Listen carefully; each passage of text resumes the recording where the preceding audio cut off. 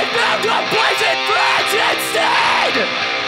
Dimension for wisdom!